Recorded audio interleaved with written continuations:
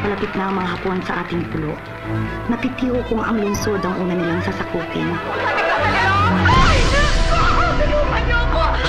Ang mangyayari kung tayong lahat ay mag-aatungal?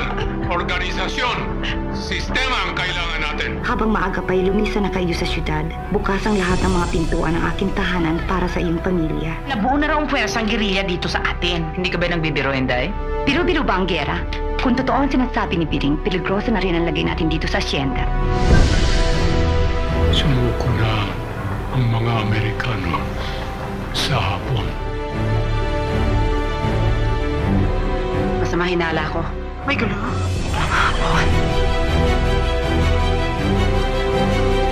Tatagan ninyo ang inyong kalooban. Mas mahalaga na tayong mabuhay. Bilang sa mga panahon to ay dapat maging matatagan tao.